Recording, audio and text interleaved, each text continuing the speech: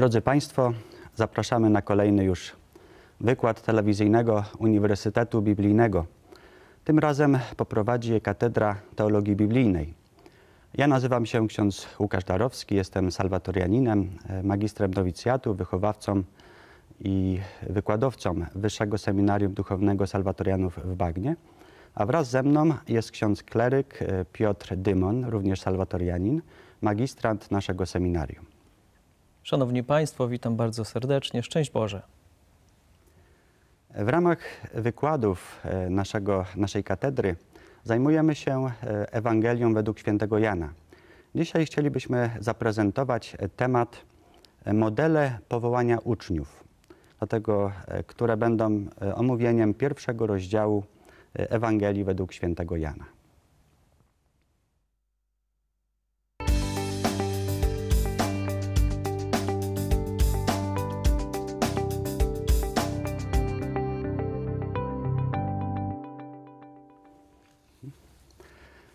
Miesiąc temu na naszych pierwszych wykładach skupiliśmy naszą uwagę na Janie Chrzcicielu. Jego wielkość polegała na tym, że był on pierwszym człowiekiem, który dzięki Bożemu objawieniu odkrył tożsamość Jezusa. Jako pierwszy dał o nim świadectwo, mówiąc: Oto baranek Boży.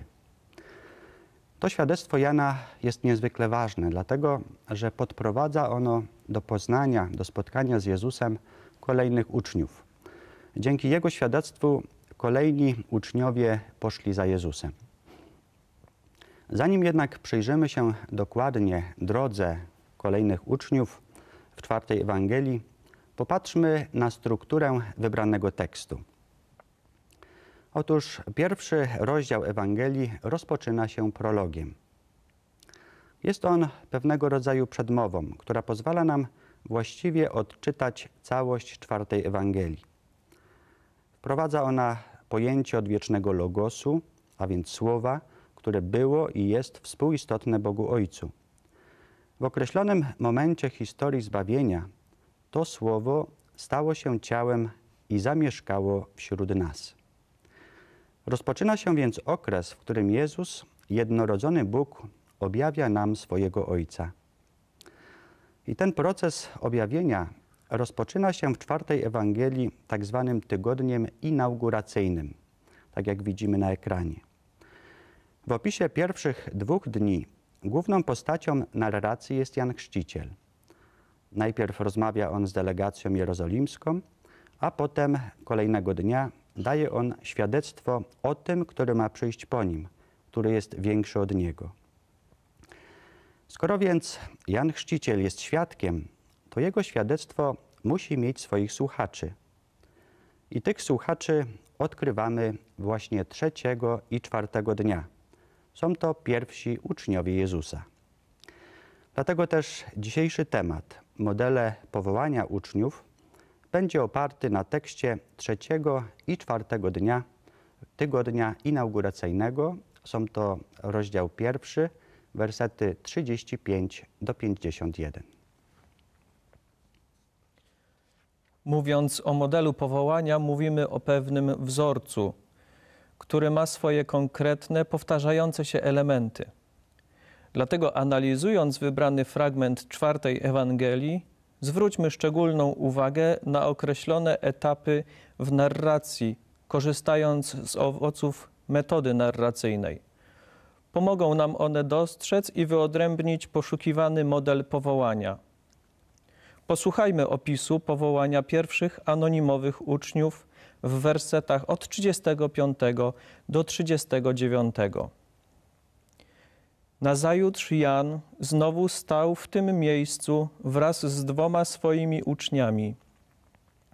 I gdy zobaczył przechodzącego Jezusa, rzekł: Oto baranek Boży. Dwaj uczniowie usłyszeli, jak mówił, i poszli za Jezusem. Jezus zaś, odwróciwszy się i ujrzawszy, że oni idą za nim, rzekł do nich: Czego szukacie? Oni odpowiedzieli do niego: Rabbi, to znaczy nauczycielu, gdzie mieszkasz? Odpowiedział im: Chodźcie, a zobaczycie. Poszli więc i zobaczyli, gdzie mieszka, i tego dnia pozostali u niego. Było to około godziny dziesiątej. Na początku narracji pojawia się Jan Chrzciciel wraz z dwoma swoimi uczniami. Być może jesteśmy zaskoczeni, że ci uczniowie są bezimienni, anonimowi. Jesteśmy przyzwyczajeni, że w Ewangeliach synoptycznych Pan Jezus powołuje swoich uczniów po imieniu. Dlaczego więc tutaj uczniowie są anonimowi? Jest to bardzo ważny zabieg literacki. Z jednej strony anonimowość pierwszych uczniów pozwala na to, aby każdy czytelnik mógł się z nimi jakoś utożsamić. Każdy z nas może poczuć się jak jeden z uczniów czekających razem z Janem nad brzegiem Jordanu. Z drugiej strony anonimowi uczniowie obrazują pewien ideał, wzór prawdziwego ucznia. Odkrycie konkretnych etapów tego wzoru pozwoli nam właściwie ocenić drogę powołania kolejnych uczniów, znanych nam już z imienia. Dlatego postaramy się teraz przeanalizować proces powołania tych dwóch bezimiennych uczniów, aby odkryć idealny model powołania. Ten model będziemy wyszczegóławiać i rozwijać w dalszej części wykładu. Przejdźmy zatem do tekstu. Pierwszy etap w usłyszanym fragmencie Ewangelii dotyczy świadectwa, świadectwa Jana Chrzciciela. Jego osoba jest już czytelnikowi dobrze znana z poprzednich dni opowiadania. Został tam ukazany jako człowiek posłany przez Boga po to, aby zaświadczyć o Bożym baranku. Czeka więc na odpowiedni moment, aby dać świadectwo. Przypatrzmy się teraz temu, jaka jest dynamika etapu świadectwa. Werset 35 opisuje sytuację wyjątkowo statyczną. Jan wraz z dwoma swoimi uczniami znowu stoi w tym miejscu, gdzie, jak się domyślamy, zawsze stał. Grecki przysłówek palin, tłumaczony jako znowu, podkreśla, że był to zupełnie zwykły dzień, taki jak każdy inny. Ta statyczna sytuacja zmienia się diametralnie wtedy, gdy pojawia się sam Jezus. Przybycie Jezusa rozpoczyna ruch i napędza rozwój akcji. Nagle ożywiony Jan daje o nim świadectwo: Oto baranek Boży. Jest to dosłownie nawiązanie do dłuższego świadectwa Jana z poprzedniego dnia. Pamiętamy, że Jan wtedy mówił o duchu, który jak gołębica zstępował z nieba i spoczął na tajemniczym mężu, który przewyższa Jana godnością. Kiedy więc anonimowi uczniowie usłyszeli świadectwo Jana, poszli za Jezusem. Mamy tutaj przykład idealnej postawy pierwszych uczniów. Ufając świadectwu Jana Chrzciciela, zadają zbędnych pytań, ale bez słowa opuszczają swojego dawnego nauczyciela i kierują swoje kroki za nowym mistrzem. Rozpoczyna się dynamiczny ruch w kierunku Jezusa. Na razie jest to jedynie ruch fizyczny. Warto jednak zauważyć, że grecki czasownik akolutcheo, oznaczający pójść za kimś, ma jeszcze głębsze znaczenie. Oprócz fizycznego pójścia za kimś, oznacza również naśladowanie swojego duchowego mistrza.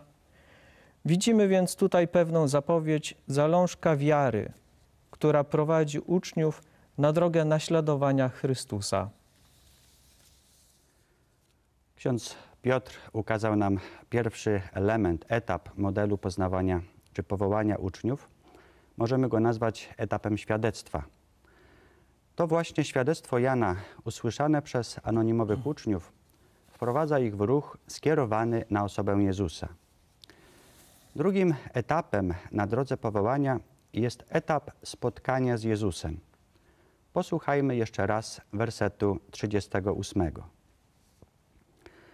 Jezus zaś odwróciwszy się i ujrzawszy, że oni idą za nim, rzekł do nich: Czego szukacie? Oni powiedzieli do niego: Rabbi, to znaczy nauczycielu, gdzie mieszkasz?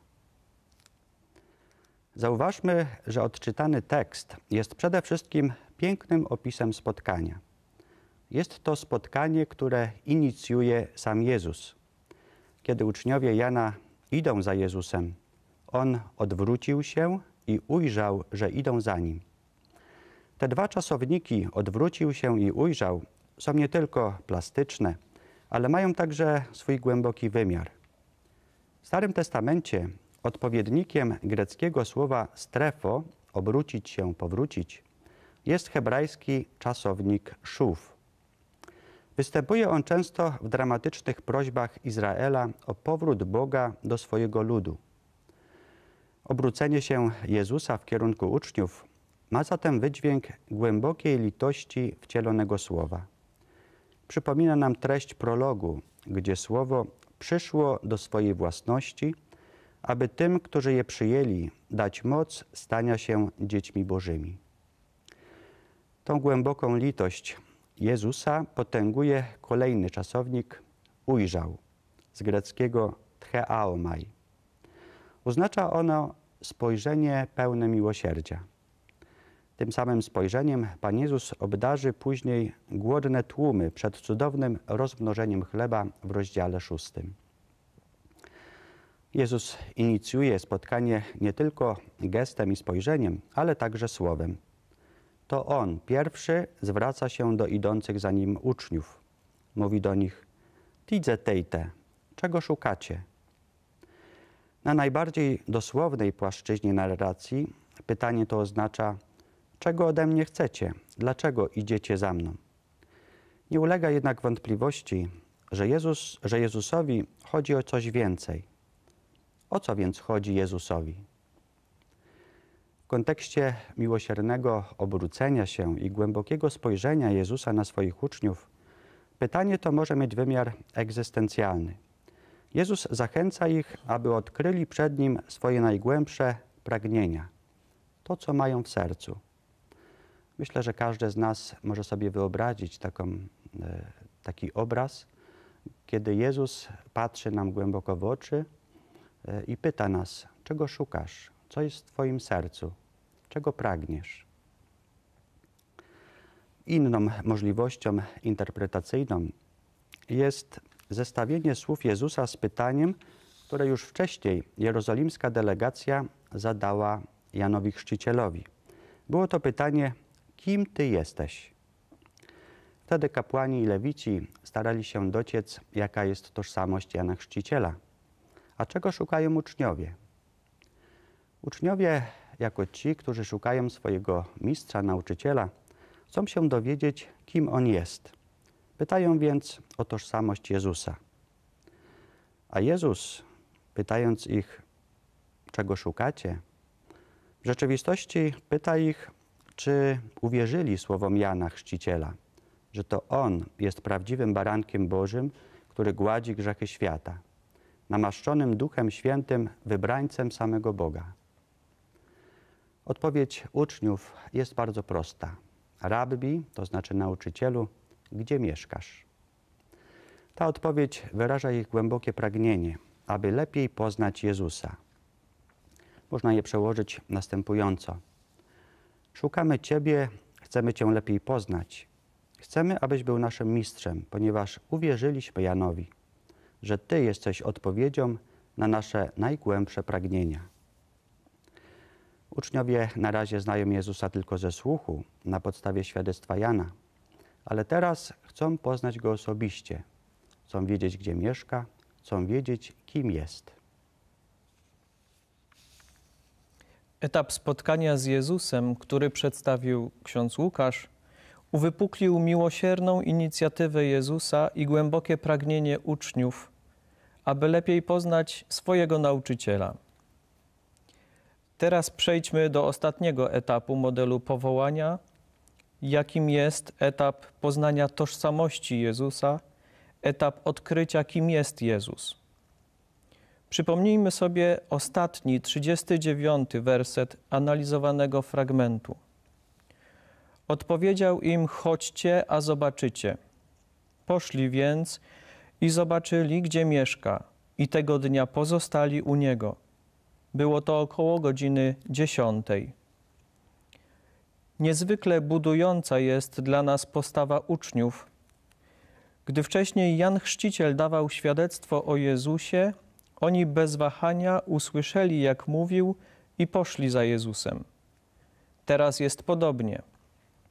Gdy Jezus zaprasza ich słowami: Chodźcie, a zobaczycie, oni dokładnie wypełniają słowa swojego nowego nauczyciela.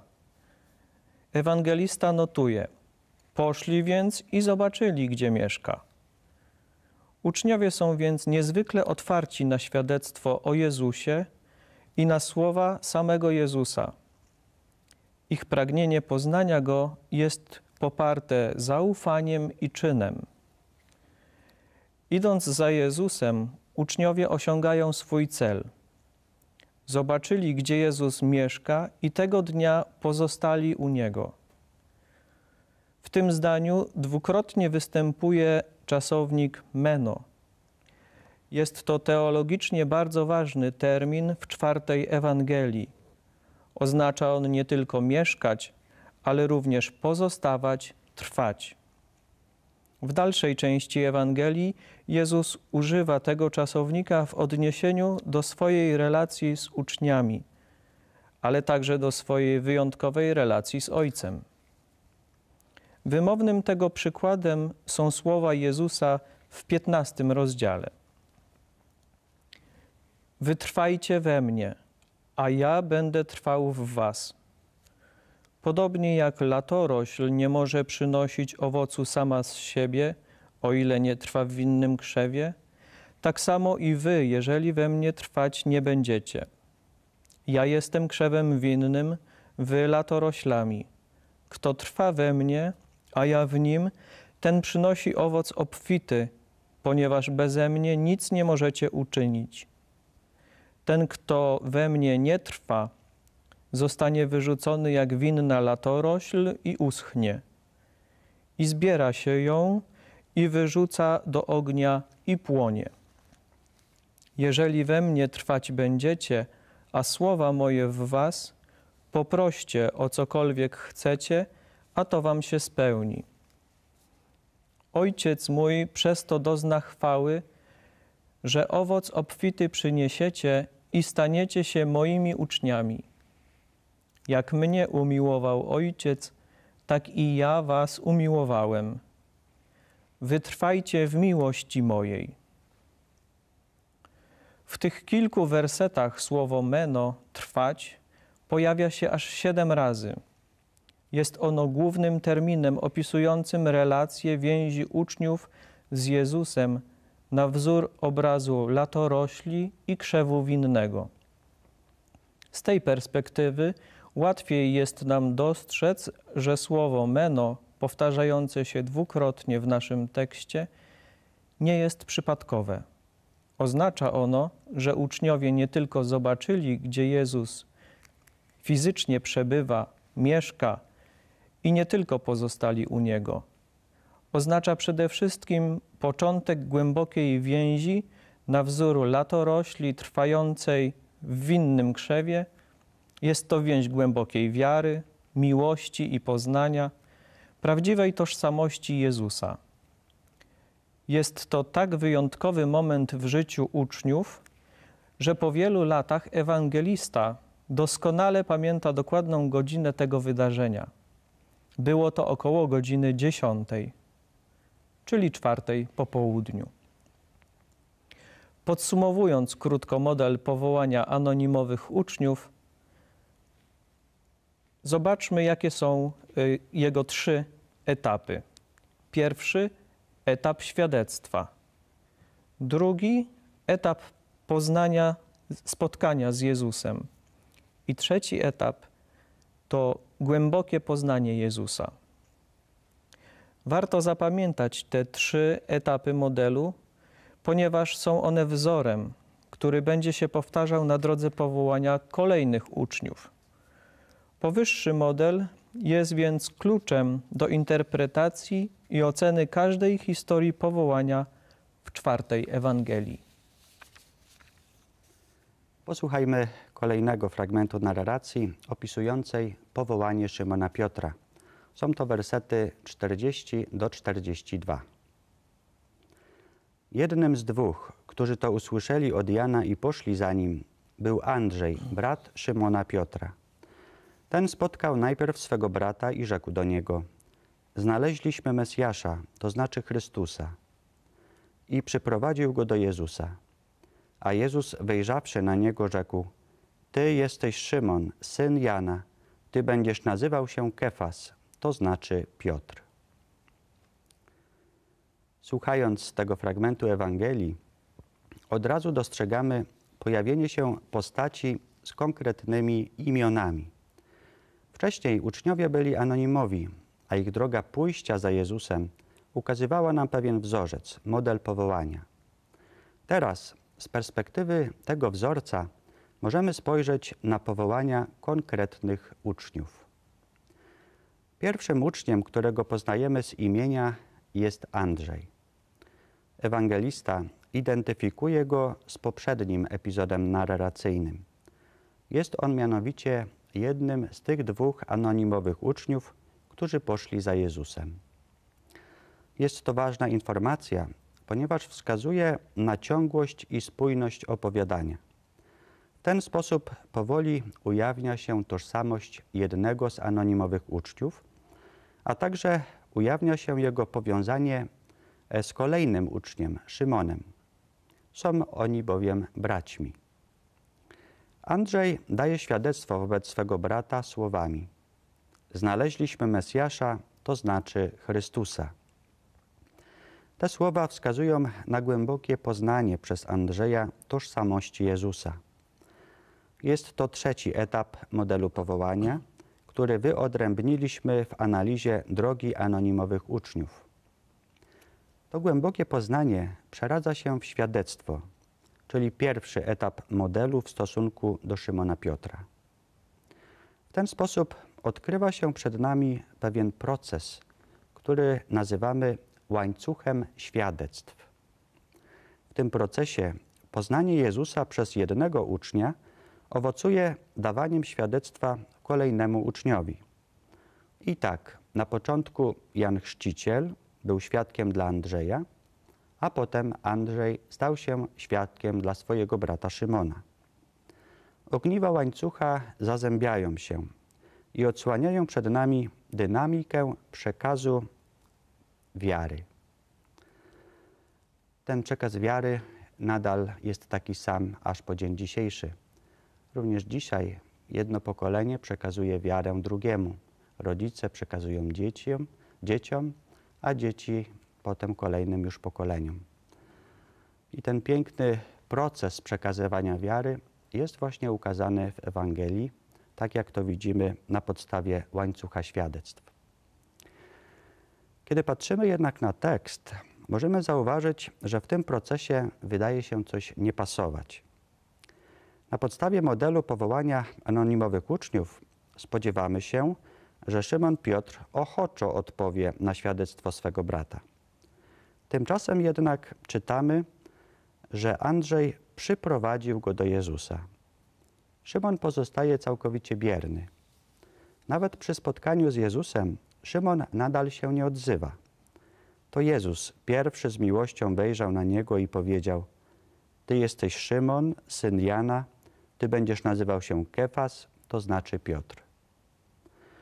Słowa Jezusa informują nas, że Jezus dogłębnie zna Szymona. Wie, kim jest teraz, mówiąc, Ty jesteś Szymon.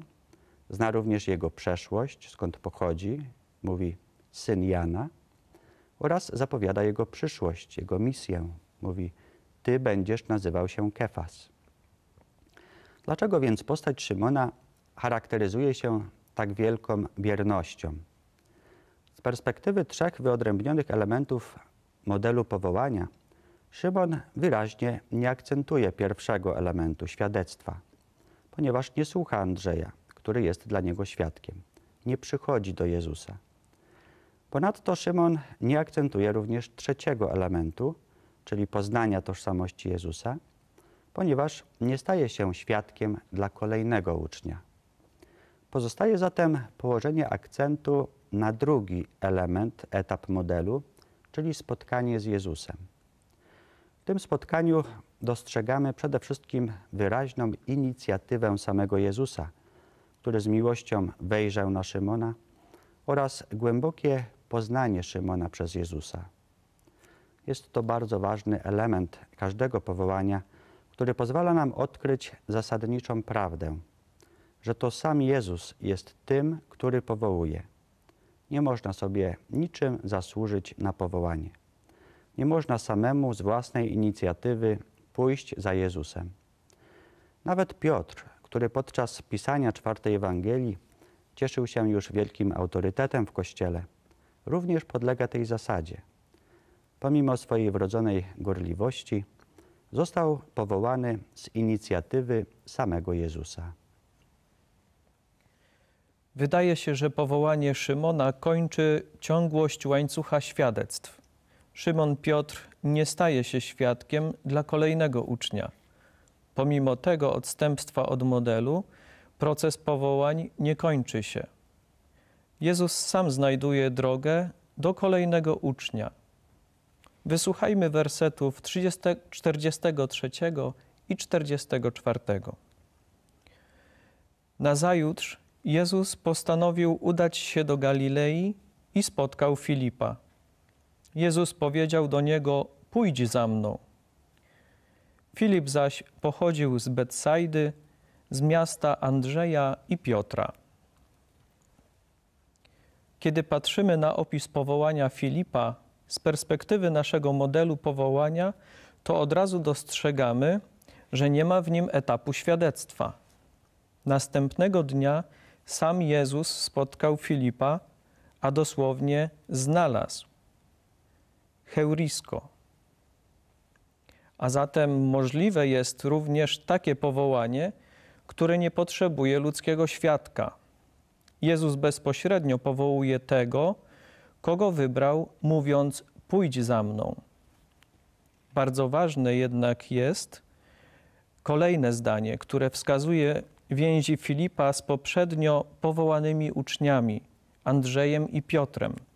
Mianowicie pochodzą z jednego miasta, z Betsajdy.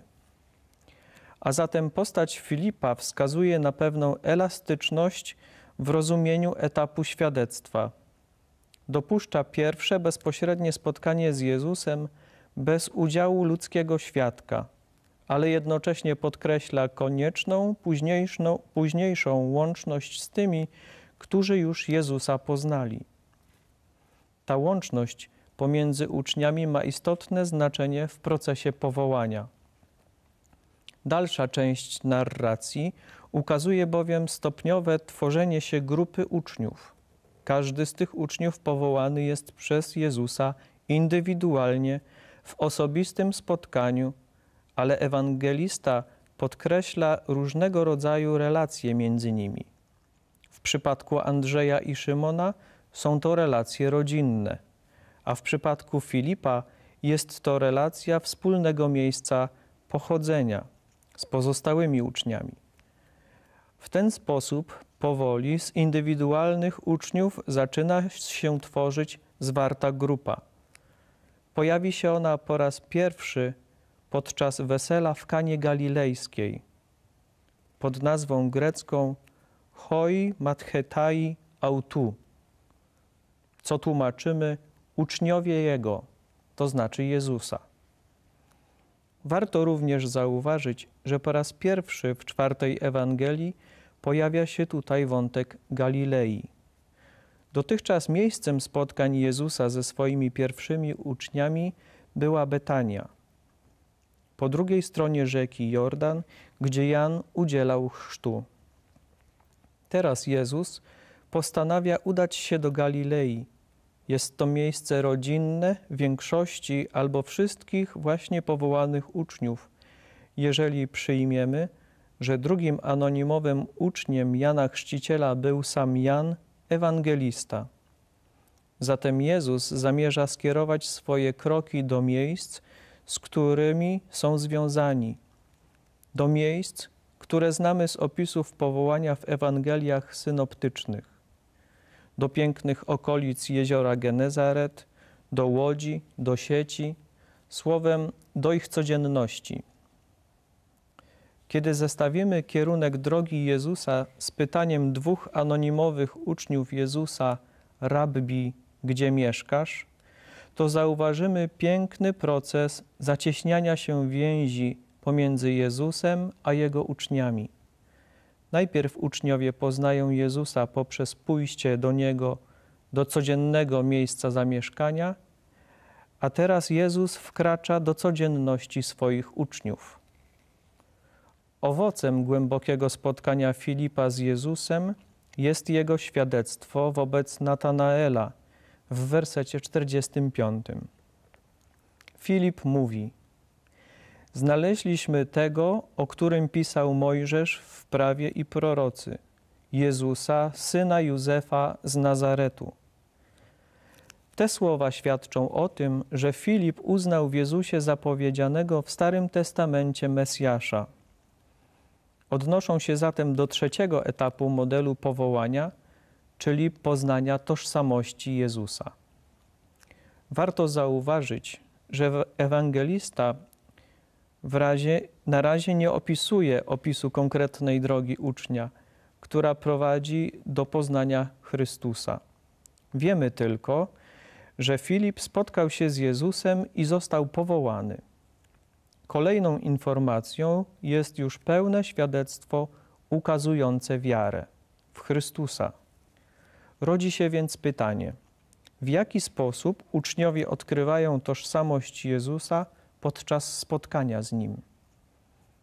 Odpowiedź znajdziemy w opisie powołania kolejnego ucznia, Natanaela. Posłuchajmy więc opisu powołania Natanaela. Są to wersety 45 do 49. Filip spotkał Natanaela i powiedział do niego: Znaleźliśmy tego, o którym pisał Mojżesz w prawie i prorocy, Jezusa, syna Józefa z Nazaretu. Rzekł do niego Natanael: Czyż może być co dobrego z Nazaretu? Odpowiedział mu Filip: Chodź i zobacz.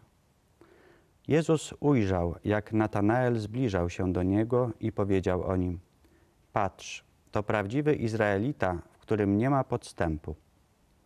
Powiedział do niego Natanael: Skąd mnie znasz? Odrzekł mu Jezus: Widziałem cię, zanim cię zawołał Filip, gdy byłeś pod drzewem figowym. Odpowiedział mu Natanael: Rabbi, ty jesteś synem Bożym, ty jesteś królem Izraela. Początek opisu powołania Natanaela przebiega według dobrze nam już znanych wzorców, modelów. Podobnie jak w przypadku Andrzeja, który znajduje swojego brata Szymona poprzedniego dnia w wersecie 41, tak i tutaj Filip znajduje Natanaela. Po spotkaniu z Natanaelem Filip, podobnie jak Andrzej, daje świadectwo o Jezusie. Wszystko się zgadza. Dalej widzimy jednak, że schemat ulega zmianie. Odróżnieniu do Szymona Piotra, Natanael reaguje na świadectwo Filipa, chociaż nie tak, jak się tego spodziewamy na podstawie e, reakcji uczniów Jana Chrzciciela z poprzedniego dnia. Nie występuje tutaj idealny zwrot usłyszał i poszedł za Jezusem. Zamiast tego Natanael poddaje krytyce świadectwo Filipa. Kwestionuje możliwość pochodzenia Mesjasza z Nazaretu. Mówi, czy może być co dobrego z Nazaretu? Słowa Natanaela podwyższają napięcie akcji, ponieważ stanowią przeszkodę w spotkaniu Natanaela z Jezusem. Wymagają więc wyjaśnienia. Filip nie wdaje się z Natanaelem w dyskusję. Mamy wrażenie, że nie chce on tracić czasu, a jego głównym pragnieniem jest doprowadzenie Natanaela do Jezusa. Kieruje więc od razu swojego rozmówcę do samego źródła, mówiąc: erchu kai ide. Chodź i zobacz. Taktyka Filipa nie niweluje napięcia akcji, ale ukierunkowuje na tego, który to napięcie rozwiąże. Warto również zauważyć, że odpowiedź Filipa jest bardzo podobna do słów Jezusa, które kieruje do anonimowych uczniów pierwszego dnia. Chodźcie, a zobaczycie. Filip więc stawia Natanael, Natanaelowi taki warunek. Jeśli chcesz zobaczyć i w konsekwencji poznać Jezusa, to musisz do Niego przyjść. Myślę, że jest to również ważne dla nas w naszym kontekście kulturowym. Jeśli chcemy poznawać Jezusa, to musimy się z Nim spotykać, musimy do Niego przychodzić. Musimy znaleźć czas na to, aby do Niego przyjść. Jeśli chodzi o Filipa, to jego rola świadka tutaj się kończy. Odtąd narracja koncentruje się na spotkaniu Jezusa z Natanaelem. Niezwykle ciekawym zwrotem akcji jest kolejny werset opowiadania, 47. Natanael rzeczywiście przyszedł do Jezusa i spełnił warunek Filipa, ale nie zobaczył go, jak obiecywał świadek. To Jezus pierwszy go zobaczył i w ten sposób przejął inicjatywę w narracji. Czytamy: Jezus ujrzał Natanaela przychodzącego do niego i powiedział o nim: Oto prawdziwy Izraelita, w którym nie ma podstępu. Świadectwo Jezusa o Natanaelu rozpoczyna dialog między nimi. Jest on rozbudowanym opisem osobistego spotkania z Jezusem. Spodziewamy się, że to spotkanie przekona Natanaela, że Jezus jest rzeczywiście Mesjaszem, chociaż według świadectwa Filipa pochodzi on z Nazaretu, czyli mało znaczącego miasteczka na obszarze nazywanym w księdze Izajasza Galileą Pogan. Na razie jednak to Jezus ujawnia tożsamość Natanaela, podobnie jak uczynił to wcześniej w przypadku Szymona Piotra. W ten sposób Natanael dowiaduje się, że Jezus jest tym, który zna go od wewnątrz, skoro już przy pierwszym spojrzeniu wie, że jest on prawdziwym Izraelitą, w którym nie ma podstępu. Warto tutaj wyjaśnić słowa Jezusa. Są one najprawdopodobniej aluzją do Psalmu 32, gdzie czytamy: Szczęśliwy człowiek, któremu Pan nie poczytuje winy, w którego duszy nie kryje się podstęp.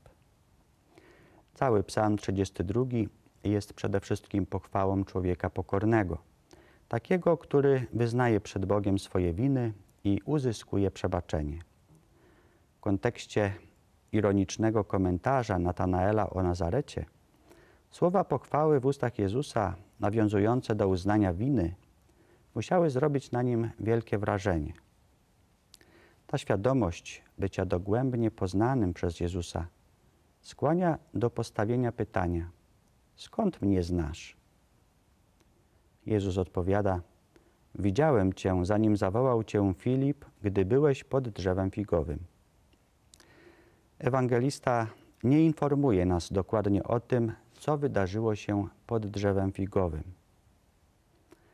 Czasem mamy tendencję do tego, aby doszukiwać się w tekście jego głębszego znaczenia, e, chcieć e, zauważyć, co też autor biblijny miał na myśli.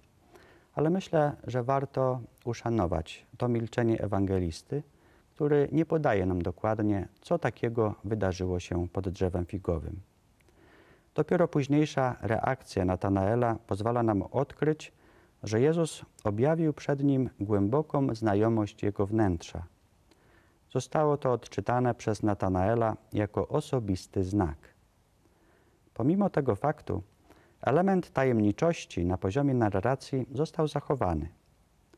Najważniejsze jest jednak to, że spotkanie z Jezusem, chociaż przysłonięte tajemnicą, prowadzi do jego głębokiego poznania. To głębokie poznanie Jezusa zostało wyrażone przez Natanaela pięknym wyznaniem wiary. Rabbi, Ty jesteś Synem Bożym, Ty jesteś Królem Izraela. Napięcie akcji zostało rozwiązane. Natanael stał się kolejną osobą w łańcuchu, która poznała Jezusa przez osobiste i wyjątkowe spotkanie z Nim. Warto również zauważyć, że Natanael wyraża swoje świadectwo wiary wobec samego Jezusa. Nie czyni tego wobec kolejnego ucznia, który przyjdzie po nim. W ten sposób przerywa dotychczasowy schemat, w którym osoba spotykająca się z Jezusem staje się jednocześnie świadkiem dla kolejnej. Natanael jest więc ostatnim powołanym uczniem opisanym w czwartej Ewangelii.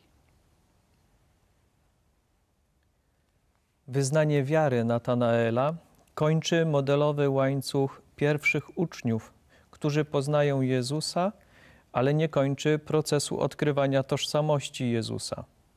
Kolejne dwa wersety zapowiadają nowy, jeszcze wspanialszy etap. Posłuchajmy słów Jezusa do Natanaela. Odparł mu Jezus: Czy dlatego wierzysz, że powiedziałem ci, widziałem cię pod drzewem figowym? Zobaczysz jeszcze więcej niż to. Potem powiedział do niego: Zaprawdę, zaprawdę powiadam wam, ujrzycie niebiosa otwarte i aniołów bożych, wstępujących i zstępujących na Syna Człowieczego. Werset 50 zawiera komentarz Jezusa, który podsumowuje całą serię spotkań Jezusa z indywidualnymi uczniami. Z punktu widzenia prowadzenia narracji jest on tutaj konieczny. Bez tego komentarza czytelnik mógłby oczekiwać kolejnego spotkania, którego katalizatorem byłby tym razem Natanael. Jezus interpretuje odpowiedź Natanaela jako wyznanie wiary. Podkreśla również, że motywem tego wyznania był wyjątkowy sposób poznania Natanaela pod drzewem figowym, które odczytywał jako osobisty znak. Zaraz potem dodaje jednak: Zobaczycie jeszcze więcej niż to. Co to oznacza? Tę wypowiedź można zrozumieć na kilku płaszczyznach. Po pierwsze, jest to zapowiedź przyszłości Natanaela, podobnie jak miało to miejsce przy zmianie imienia Szymona na Piotr, czyli skała. Po drugie, to zdanie zapowiada przyszłość, a konkretnie wskazuje na przyszłe wydarzenia w Kanie Galilejskiej, gdzie uczniowie zobaczą Jezusa objawiającego swoją chwałę. Najważniejszym jednak znaczeniem tej wypowiedzi jest to, że droga poznania Jezusa jeszcze się nie zakończyła. Będzie ona kontynuowana w jeszcze bardziej intensywnym wymiarze. Innymi słowy, powołanie to dopiero początek. Przed uczniami rozpościera się jeszcze bardzo długa droga. Przed smakiem tej drogi są dalsze słowa Jezusa. Rozpoczyna je uroczystym wstępem skierowanym do uczniów w liczbie mnogiej. Amen, amen, lego hymin. Zaprawdę, zaprawdę powiadam wam. Jest to punkt szczytowy całego opowiadania o powołaniu indywidualnych uczniów. Jezus mówi: Ujrzycie niebiosa otwarte i aniołów bożych wstępujących i zstępujących na syna człowieczego. Sama treść tego loginu jest raczej tajemnicza. Wśród biblistów istnieją różne opinie interpretacyjne.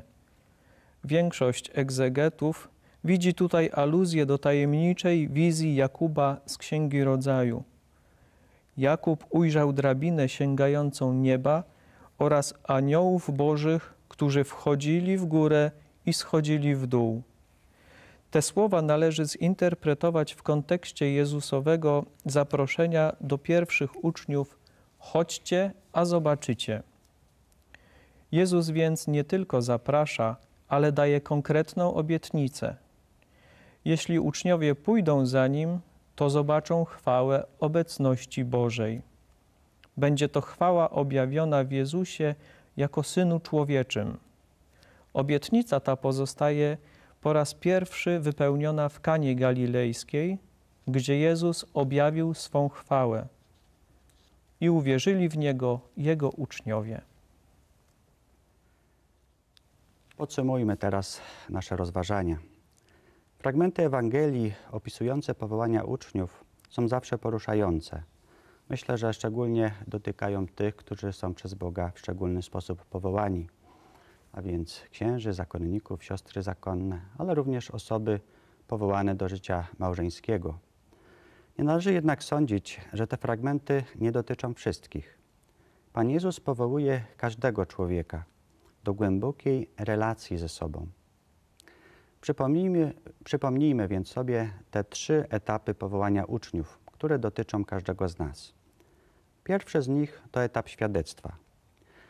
Myślę, że każdy z nas spotkał w swoim życiu jakiegoś świadka, kogoś, kto swoją wiarą wskazał nam na Jezusa.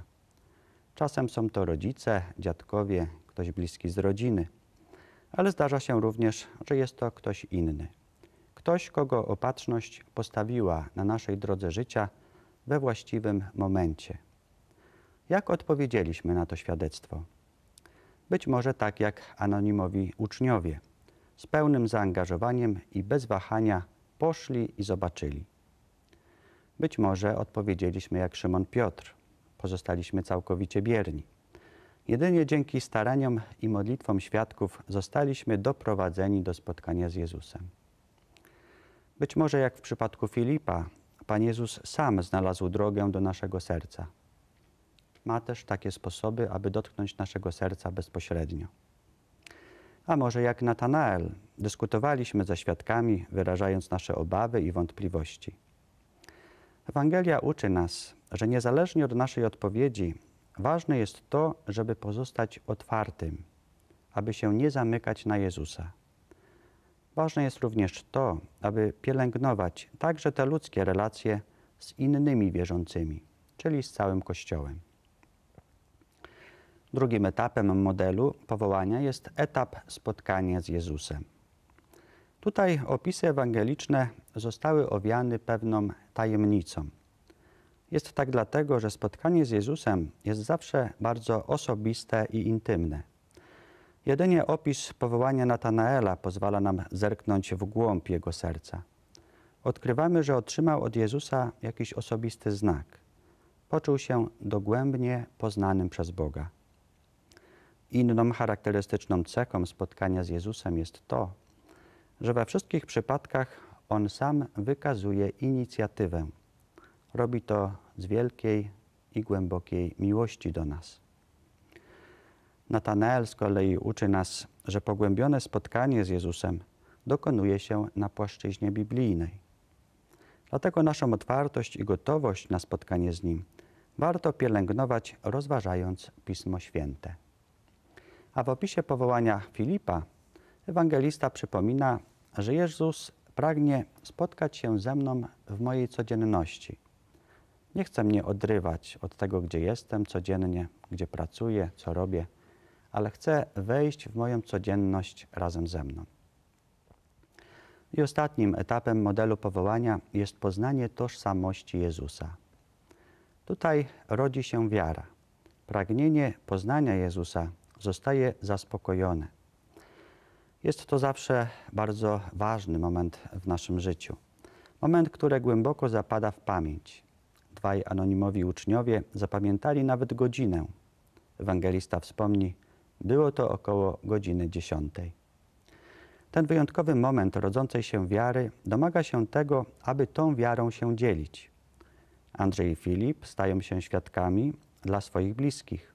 Andrzej dla brata Szymona, a Filip dla Natanaela. Rozpoczynają swoje świadectwo od słowa znaleźliśmy. Potem dodają swoimi słowami, kim dla nich jest Jezus. Jest to dla nas najprostszy, ale i najbardziej poruszający wyraz wiary. Ostatecznie każdy z powołanych uczniów nie tylko poznał, kim jest Jezus, ale przede wszystkim wkroczył na drogę naśladowania Go. Ich moment powołania stał się początkiem drogi, na której według zapowiedzi samego Jezusa ujrzą chwałę Bożą. Drodzy Państwo, w ten sposób kończymy nasz wykład, ale nie kończymy jeszcze naszego spotkania. Wykłady na uniwersytetach mają tą charakterystyczną cechę, że pozwalają na zadawanie pytań, na zabieranie głosu. Dlatego i my w ramach Telewizyjnego Uniwersytetu Biblijnego chcemy teraz zaprosić Państwa do rozmowy.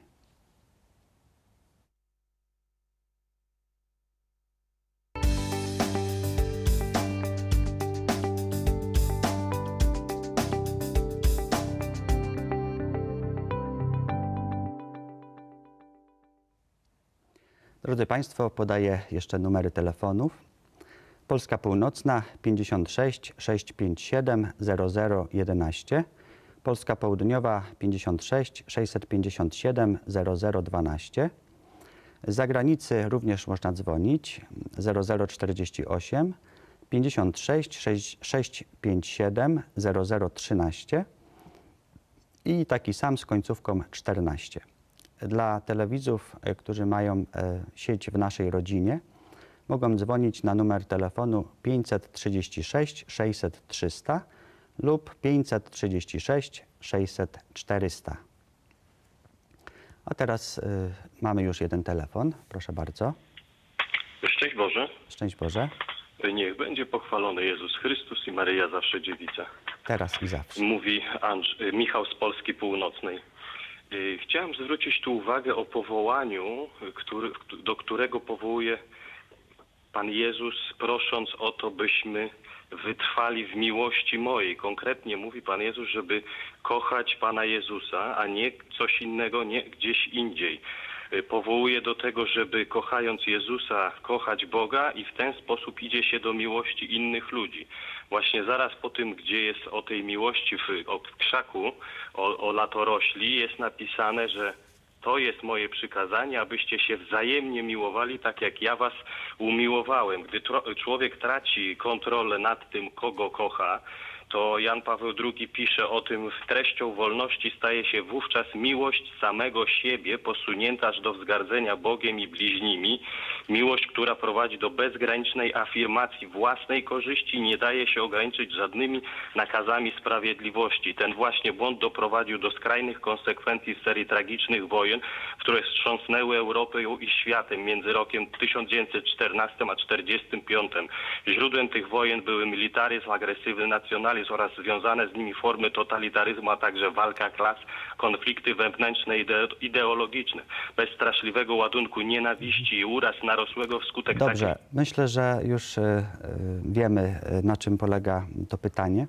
Y, Pan tutaj bardzo pięknie właśnie ukazuje poprzez przykład słów Ojca Świętego na to, że Pan Jezus wzywa poprzez trwanie, przez ten czasownik meno, właśnie do trwania nie tylko w Nim samym, oczywiście to jest klucz, to jest najważniejsze, ale także do trwania w miłości między sobą. I to jest też bardzo pięknie ukazane w tych fragmentach, które rozważaliśmy.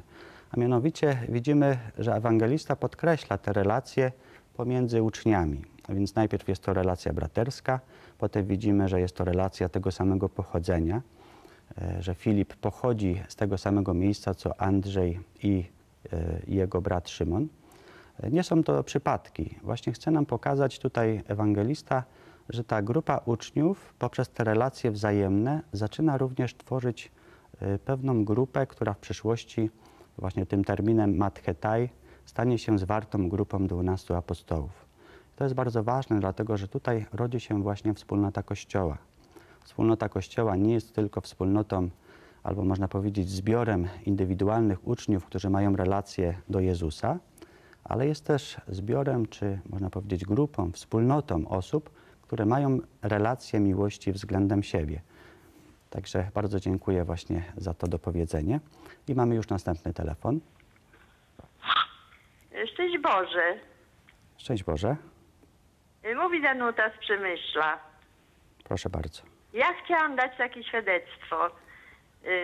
Znałam Pana Jezusa już dawno, ponieważ jestem osobą wierzącą od chrztu, a mam już prawie 80 lat, ale poprzez telewizyjny Uniwersytet Biblijny, którego jestem uczestniczką już od pięciu lat, poznałam go bardzo dużo lepiej i tak samo Pismo Święte lepiej poznałam.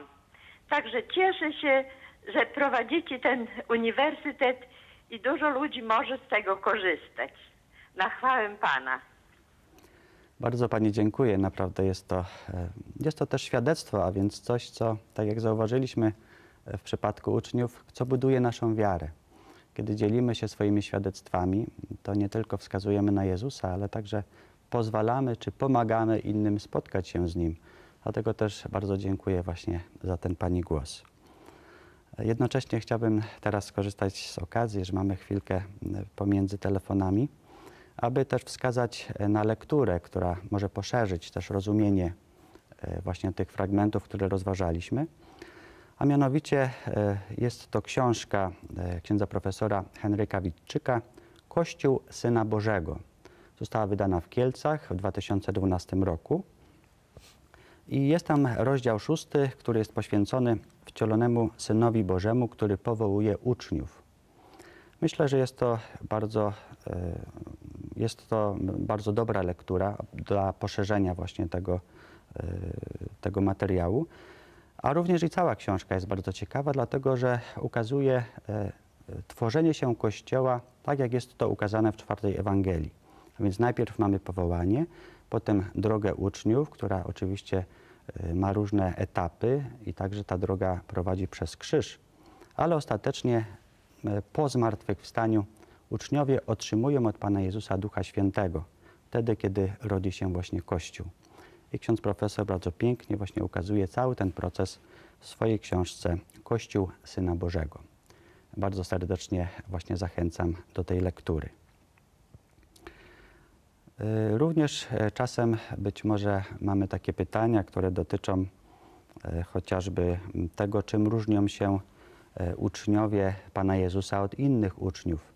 Mówiliśmy tutaj właśnie o, o uczniostwie, o byciu uczniem, ale jednak widzimy, że każdy rabin, można powiedzieć w starożytności, każdy ważniejszy rabin miał swoich uczniów i ci uczniowie e, byli zupełnie inni niż uczniowie Jezusa. Mianowicie różnili się tym, że to uczniowie wybierali sobie swojego mistrza. Podobnie jak jest to dzisiaj. Każdy uczeń, każdy student wybiera sobie uczelnię, na której chce studiować. Przede wszystkim wybiera ją dlatego, że podobają mu się treści, które ta uczelnia mm, mu oferuje. W przypadku Jezusa jest zupełnie inaczej. To Jezus sam wybiera swoich uczniów. Nie ma tutaj precedensu, tylko Jezus sam z siebie wybiera swoich uczniów. Jest to właśnie ta różnica, która bardzo pięknie ukazuje nam również relacje, które się buduje. Uczeń jest to ktoś szczególnie powołany przez Jezusa. Ktoś, na kogo Jezus z miłością wejrzał, którego głęboko poznał i którego zachęca do tego, aby poszedł za nim. Te słowa e, bardzo mocno wiążą się właśnie z 15 rozdziałem 16 wersetu, kiedy Pan Jezus mówi: Nie wyście mnie wybrali, ale ja was wybrałem. Możemy już pomału kończyć. Drodzy Państwo, kończymy to nasze spotkanie. Bardzo się cieszę z tego, że mogliśmy z Państwem rozważać właśnie te fragmenty o powołaniu uczniów. Jesteśmy powołani, każdy z nas, do bycia uczniem Chrystusa. Y, Spotkaliśmy wielu z nas osobiście już Pana Jezusa, dlatego że jesteśmy osobami wierzącymi. Odpowiedzieliśmy wiarą, ale życzę Wam i sobie, aby ta nasza droga naśladowania Chrystusa coraz bardziej umacniała naszą wiarę i umacniała nasze relacje i więzi z Chrystusem.